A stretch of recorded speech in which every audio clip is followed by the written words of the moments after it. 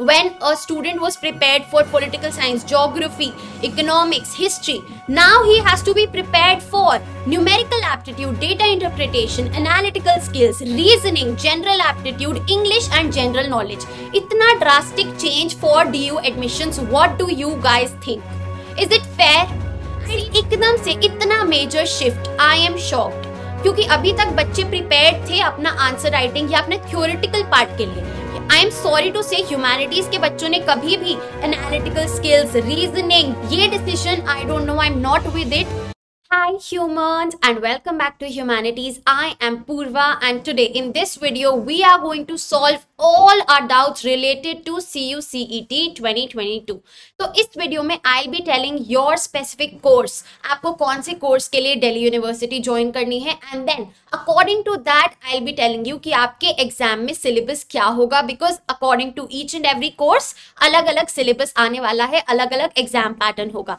Right so stay tuned इसमें सारे science वाले बच्चे भी कॉमर्स वाले भी ह्यूमैनिटीज वाले भी, सबके लिए ये वीडियो बहुत इंपॉर्टेंट है, क्योंकि आप सबका कोर्स इसमें कवर्ड है। क्लियर है? तो भैया in this video will be discussing our courses and its specific syllabus under CUCET for our Delhi University admissions. I'll be also telling you क्या ये good decision है especially for the humanities students क्योंकि थोड़ी सी गड़बड़ मुझे लग रही है it's not that fair on your part I'll be telling you that soon and doubt clarification video है आप सबने बहुत सारे comments डाले थे कि मैम इस कोर्स में मुझे लेना है तो मुझे क्या पढ़ना पड़ेगा everything I'll be clarifying you step by step so let's get started and find out more about doubts. चलिए so this is the source of our syllabus of UG entrance examination for C U C E T ये 2021 का है। This I have found out on it's on the C U C E T official website ठीक है? ये मैंने official website से निकाला है। 2021 तक भैया यही चलता आया है syllabus for each and every course तो हम इसी को अभी फॉलो करेंगे क्योंकि अभी तक कोई भी अपडेट नहीं आया है। So for all the science and math student जिनको ये सारे कोर्स कोर्सेज करने हैं। कौन से कोर्सेज हम यहाँ पे लगा लेते हैं अपना बी टेक आ गया देन हमारा integrated BSc botany zoology chemistry physics सब कुछ है। इधर पूरी आपकी लिस्ट दी हुई है। You can take a screenshot and find out आपको इसमें से कौन सा कोर्स करना है। क्लियर है? This is for all the science and math students वाले पीसीएम पीसीबी स्टूडेंट्स राइट तो फॉर दीज कोर्सेज आपका सिलेबस जैसे कि मैंने बताया है part A and part B में डिवाइडेड होगा। पार्ट ए में 25 क्वेश्चन आएँगे जो कि किस पे होंगे? इंग्लिश न्यूमेरिकल एप्टीट्यूड या फिर डेटा इंटरप्रिटेशन यानी कि आपकी logical reasoning analytical skills reasoning and general awareness तो आपका जीके आएगा, आपकी मैथ्स आएगी टेंथ लेवल तक, आपका इंग्लिश आएगा न्यूमेरिकल एप्टीट्यूड आएगा and all the analytical skills clear है? आपके लिए इजी है because you have PCMB clear है? थोड़ा एनालिटिकल माइंड रहता ही है जिनके पास ये सब्जेक्ट्स होते हैं. एंड पार्ट बी में सेक्शन वन फिजिक्स आएगा एंड सेक्शन टू केमिस्ट्री आएगा. From section three and section four only one section either maths और बायोलॉजी वो आपके पास चॉइस होगी जो आप चूज़ कर सकते हैं should be attempted and answered यानी कि आपको तीन सब्जेक्ट्स तो करने ही करने हैं अटेम्प्ट जिसमें से फिजिक्स मैंडेटरी है केमिस्ट्री मैंडेटरी है बट मैथ्स और बायो में आपके पास चॉइस रहेगा. So this is for all the students who want to pursue these courses अब हम चलते हैं आगे. And this is your syllabus for section one physics section two chemistry section three maths and section four biology clear है? ये आपका पूरा syllabus दिया हुआ है. I be linking this PDF in the description box below now coming on to my students humanity students जिनको सबसे ज़रूरी तो बीए पॉलिटिकल साइंस ऑनर्स करने का मन है इंग्लिश ऑनर्स करने का मन है international relations tourism and travel management social management tourism सब कुछ। B L L B integrated करना है। ये डी यू की बात नहीं हो रही है। इसमें और यूनिवर्सिटी जैसे कि पंजाब यूनिवर्सिटी वगैरह है क्लियर है। तो इधर ये कोर्सेज की लिस्ट है जिनको बी एस सी साइकोलॉजी हमारा इकोनॉमिक्स सब कुछ आ रहा है इसमें। आपके लिए ये सिलेबस ये C U C T exam किस पे बेस्ड होगा?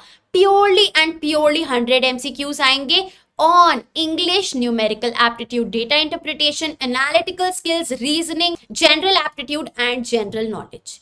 Now, my take on this is कि यार देखो अभी से पहले डी बोर्ड एग्ज़ाम्स के बेसिस पे हमारे एडमिशन लेता था एंड बोर्ड एग्ज़ाम्स में क्या आता था for all those who want to pursue B A political science honours आपके जो सब्जेक्ट होते थे pol science history geography what and एकदम से इतना major shift I am shocked क्योंकि अभी तक बच्चे प्रिपेयर्ड थे अपना आंसर राइटिंग या अपने थ्योरिटिकल पार्ट के लिए। I am sorry to say humanities के बच्चों ने कभी भी analytical skills reasoning general knowledge चलो जनरल नॉलेज होती है but all about the aptitude and interpretation and analytical part this is a tough one for humanity students I am so sorry to say ये decision I don't know I am not with it क्योंकि एकदम से इतना major और drastic shift what do you guys think let me know in the comment section below एकदम से देखो मैं डीमोटिवेट नहीं करना चाहती एकदम से when a student was prepared for political science geography economics history now he has to be prepared for numerical aptitude data interpretation analytical skills reasoning general aptitude english and general knowledge itna drastic change for du admissions what do you guys think is it fair see personally i am very very upset with this decision क्योंकि आपको C U C T D U Delhi university को ये ध्यान में रखना चाहिए कि